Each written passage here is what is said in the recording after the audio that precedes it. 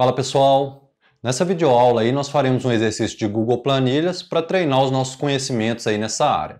Desde já eu peço a você que se esse vídeo estiver te ajudando, me ajude também deixando seu like, compartilhando e se inscrevendo aí no canal, isso me ajuda bastante.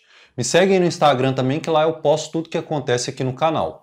E deixa aqui nos comentários se você conseguiu fazer o exercício, né, se você está conseguindo aprender, absorver o conhecimento de Google Planilhas, ou se foi necessário você seguir a explicação do vídeo para conseguir fazer o exercício.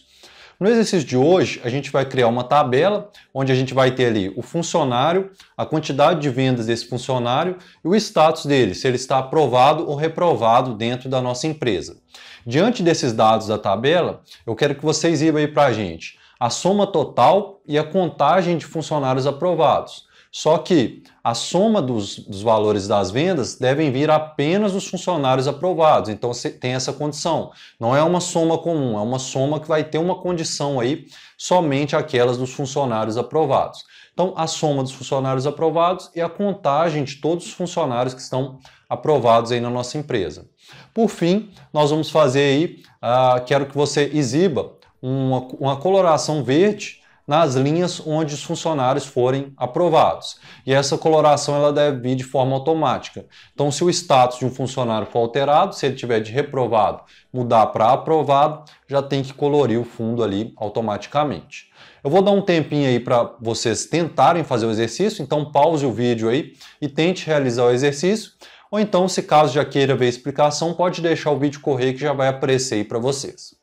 Então, pessoal, iniciando aí a nossa explicação, nós vamos iniciar aí uh, com uma soma e a contagem. Para isso, nós vamos ter que utilizar duas fórmulas que já existem aqui por padrão no Google Planilhas, que é a fórmula soma-se e a fórmula conte-se. Então, com essas duas fórmulas, a gente consegue trazer tanto a soma total de vendas dos funcionários aprovados, quanto a contagem de todos os funcionários que estão aprovados na nossa empresa.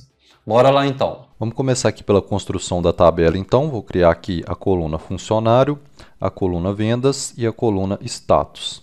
Aqui eu vou criar alguns funcionários fictícios. Tiago, que vendeu 10 e foi aprovado. Nós temos a Thaís, que vendeu 5 e foi reprovada. Nós temos o Roberto, que vendeu 3 e foi aprovado. Nós temos o, a Flávia, que vendeu 27 e foi é, reprovada. E nós temos o Jonathan, que vendeu 10 e foi aprovado. Aqui embaixo nós vamos ter o total né, dos aprovados, total de vendas. E aqui nós teremos a, o quantos aprovados. Quantos aprovados tivemos. Vamos dar uma formataçãozinha básica aqui.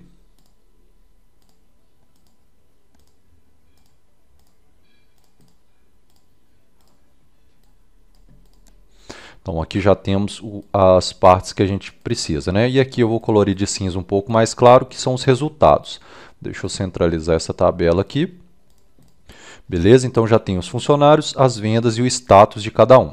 Agora eu quero exibir aqui o total de vendas, porém só de quem está aprovado aqui no nosso sistema. Para isso, pessoal, a gente pode utilizar aqui a fórmula soma se, tá? Que é uma fórmula, é uma fórmula condicional, ela vai somar de acordo com a condição. Então, a primeira parte dela é o intervalo. Então, o intervalo que a gente vai verificar é esse intervalo aqui, C2 e C6. E qual que é o critério? Se for igual a aprovado. Né? E o terceiro critério, que é o intervalo da soma, que é aqui de B2 a B6. Só isso daqui você já vai obter aqui o resultado da soma condicional. Ó. Então, o que acontece é o seguinte, você tem Tiago, que é 10, que é aprovado. Você tem o Roberto, que é 3, que é aprovado. Vamos para 13. E aqui nós temos o Jonathan também com 10 aprovado. Vamos para 23. Se por acaso eu mudasse a Flávia para aprovado, já ia para 50, porque somaria 27 aqui.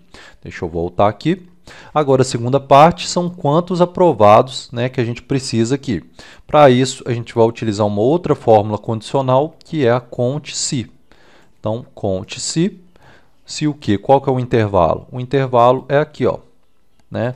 E só vai contar se for igual a aprovado também. Daí a gente tem que são três aprovados. Ó. Se por acaso aqui, ó, a Flávia fosse aprovada, né? Aprovado. Caso a Flávia fosse aprovado, já soma aqui para 4 e aqui vai para 50. Se eu der um Ctrl Z, volta para 23 e 3. Agora, moçada, para a gente fazer a coloração de fundo ali da linha né, dos funcionários aprovados de forma automática, a gente pode utilizar o recurso da formatação condicional. Então, utilizando a formatação condicional, a gente consegue pegar o status ali se está aprovado e colorir de verde caso ele esteja, ou deixar em branco caso ele esteja como reprovado. Vamos ver como que isso funciona na prática aí. Agora, para a gente deixar o fundo, cada fundo aprovado aqui na cor verde, né, de forma automatizada, a gente vai ter que utilizar o recurso da formatação condicional. Então, vou vir aqui em formatar, formatação condicional, né? E aqui, o primeiro passo, a gente colocar um intervalo. No caso aqui, eu vou trabalhar do intervalo A2 né? até o intervalo uh, C6. Né? Então, A2 a C6. Vai ser o nosso intervalo A2 a C6. Tá aqui o nosso intervalo. A fórmula que a gente vai utilizar aqui é a fórmula personalizada. E aqui nós vamos colocar igual. Qual que é o parâmetro que a gente quer pegar? Está na coluna C a partir da coluna 2 aqui, né, da linha 2. Então, é, vou travar a coluna, né? Então, travei aqui a coluna com o cifrão, ó, e vou dizer que a partir do C2 for igual a aprovado. Vou colocar em concluído, né? Então agora, sempre que for aprovado, ele vai colorir de verde para a gente o fundo. Por exemplo, a Flávia aqui, se eu colocasse ela aprovado, ela já fica de verde. Se o Roberto passasse para o status reprovado, já não ficaria mais verde. Ó. Então, dessa forma aqui, a gente já deixa tudo... É padrão, né, automatizado, sempre que for aprovado vai ficar verde, melhora a visualização aí para quem está olhando a tabela. Só um último detalhe aqui que eu acho que seria interessante a gente pensar o seguinte, sempre que a gente tem dados que se repetem, né, igual aqui a gente tem duas opções apenas, aprovado ou reprovado. Então o ideal é a gente não deixar para o usuário digitar, porque ele pode digitar, por exemplo, aprovada, né, é, aprovados, então ele pode errar o texto aqui e isso acabar com a sua formatação, com, seu, com seu, uh, sua fórmula de soma. Então sempre que você tem dados fixos, utilize a validação de dados. Então aqui ó, posso selecionar esse intervalo, vir aqui em dados, validação de dados, e aí eu coloco aqui ó, uma lista de itens. E aí eu coloco aprovado e reprovado. E aí eu rejeito qualquer entrada diferente dessa. Ó. Eu vou salvar aqui. Então agora eu tenho é, aprovado e reprovado. Né? Aprovado. Então, o usuário, agora, ele não pode escrever, por exemplo, aprovados. Tá vendo? Ó, meu sistema não permite. Então, ele só vai conseguir ficar entre essas duas opções e assim não vai estragar a sua fórmula que só aceita aprovado aqui como critério, né? assim como a formatação condicional.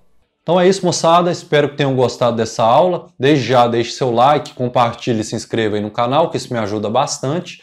E a gente vai ter novos exercícios aí, tanto de Google Planilhas, Google Formulários, outros produtos da Google e também das linguagens de programação.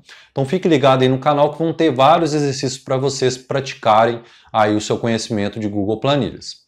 Sucesso nos códigos e na vida. Acesse agora mesmo a nossa plataforma de ensino, webdesignfoco.com. Essa plataforma possui todos os códigos e explicações para sua videoaula. Assim você aprende de forma mais fácil. Inscreva-se agora mesmo.